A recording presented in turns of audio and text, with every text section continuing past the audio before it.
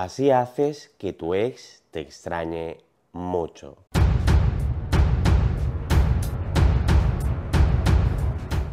Si quieres que tu expareja vuelva a extrañarte y amarte como un día lo hizo, y más aún de una forma mucho más poderosa, quédate bien en este vídeo. Seguramente recuerdas muy diferente cómo empezó tu relación a cómo terminó. Cómo te amaba tu pareja al principio y cómo, sin darte cuenta, pasando los meses y a veces hasta los años, la situación fue cambiando drásticamente. Como te digo, sin tú darte cuenta. Si te pones a pensar en cómo estabais al principio de la relación, tu expareja actuaba de una forma radicalmente distinta a cuando lo hacía en medio de la relación y más hacia el final de la relación. ¿Por qué ocurre esto? ¿Cómo lo solucionas? ¿Cómo haces que tu ex vuelva a extrañarte? Lo primero de todo, no esperes que tu ex actúe contigo como una buena persona leal y fiel. No esperes que valore todo lo bueno que le quieres dar. Incluso un ex puede ser muy, muy cruel y ponerte trampas. Comúnmente te darán falsas esperanzas para que tú declares tu amor o insistas y luego te den el hachazo. ¿Por qué te hace eso un ex? Bueno, pues porque aunque ya no te quiera en su vida, le gusta sentir que le aportas, que le das, por puro ego, por pura autoestima. Y no hay que caer en la trampa de rellenar el ego a un ex. Porque si tú a alguien le llenas la copa, ya no se la puedes llenar más porque ya tiene la copa llena. Para que tu ex te extrañe, lo primero es eliminar todo aquello que te recuerde a un ex. Porque para darle la vuelta a la situación, tienes que darle la vuelta. Es decir, no puedes ser tú quien piensa a todas horas en su ex. Por eso siempre digo que para recuperar a un ex, antes tienes superarle. Tienes que hacer tu vida, tus cosas y sobre todo lo esencial es eliminar todo rastro de ex en tu vida.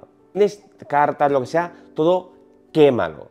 Si tienes una camiseta que cada vez que la ves en el armario te acuerdas de tu ex, destruyela, porque todo eso afecta a tu estado de ánimo. Te impides conectar, te impide ser tú mismo. Hace que siempre añores a esa persona que ya no quiere estar contigo. Y para que esa persona te extrañe y quiera volver a tu lado, debe verte como alguien nuevo y mejor, no como alguien que sigue triste porque no le puede recuperar. Y eso incluye cuidarte y respetarte, mimarte y agasajarte. Es fácil querer a otra persona, pero no tanto a uno mismo.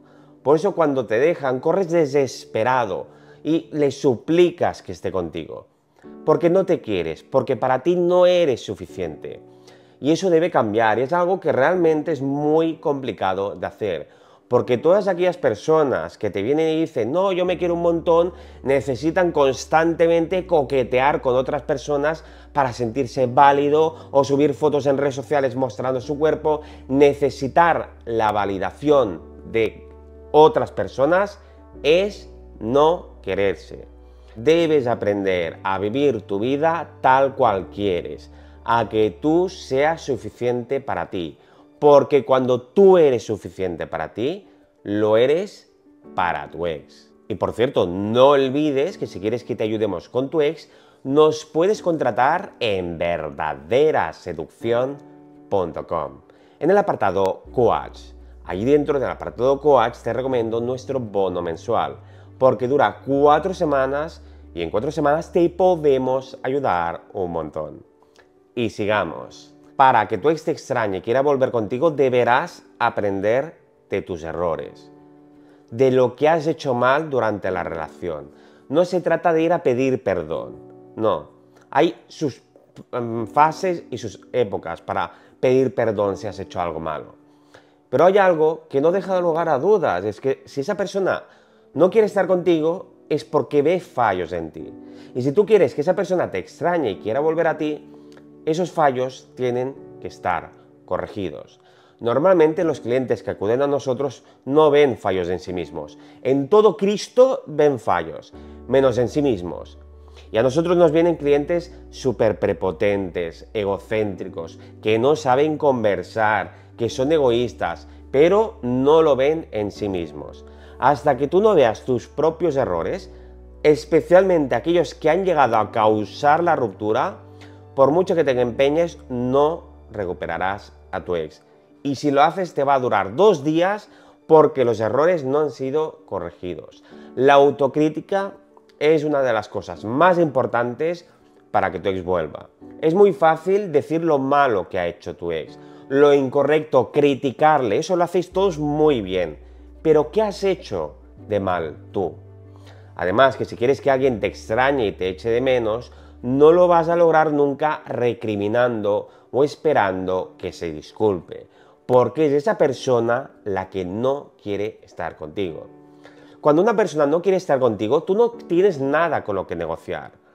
Muchas personas les deja su ex o no quiere estar con ellos y empiezan a exigir, pero ¿qué exiges?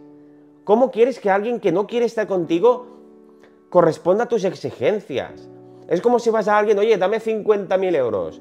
¿Por qué? Porque sí. No, si quieres que alguien te dé 50.000 euros, le vendes algo que vale 50.000 euros y que además esa persona quiera. Y eso es lo que tienes que hacer tú, convertirte en aquella persona que tu ex quiere comprar, que no quiere estar contigo. Cuando una persona no quiere estar contigo, tú no tienes nada con lo que negociar. Muchas personas les deja a su ex o no quiere estar con ellos y empiezan a exigir, pero ¿qué exiges? ¿Cómo quieres que alguien que no quiere estar contigo corresponda a tus exigencias? Es como si vas a alguien, oye, dame 50.000 euros. ¿Por qué? Porque sí. No, si quieres que alguien te dé 50.000 euros, le vendes algo que vale 50.000 euros y que además esa persona quiera. Y eso es lo que tienes que hacer tú, convertirte en aquella persona que tu ex quiere comprar. Y no te centres en tratar bien a tu ex, céntrate en que recupere su amor por ti. Dejad de tener actitudes de sumisión, de docilidad y de ponerle la vida fácil. Que yo te diga que no hay que discutir o pelearse con un ex no significa que te tengas que tirar como una alfombra en el suelo para que te pise.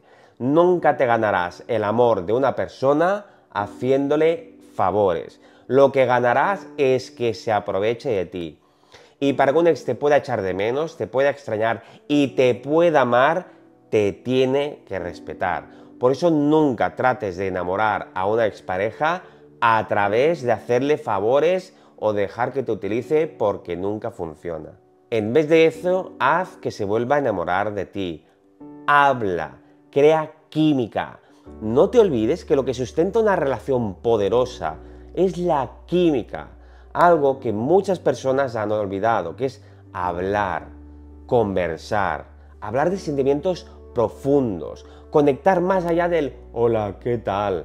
Que esa persona, o sea, tu ex, llega un momento en el, en el que cuando le sucede algo, lo que está deseando es ir a correr y contártelo.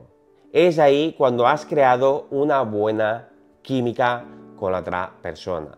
Piensa en las relaciones más especiales, aquellas tipo Disney y aquellas que te gustaría vivir. Todas se basan en la química en dos personas que se conocen, hablan durante horas y saltan chispas. Eso debes hacer con tu ex, pero poco a poco, sin asustarle, que cada vez le sea más natural conversar contigo, hasta el punto que tú puedes ir conectando y enamorándole de nuevo. Que sepas que todo esto te lo enseño paso a paso en mi audiocurso de cómo recuperar a tu ex que encontrarás en verdaderaseducción.com en el apartado audios. Allí busca cómo recuperar a tu ex. Y no olvides suscribirte para más vídeos que te van a encantar.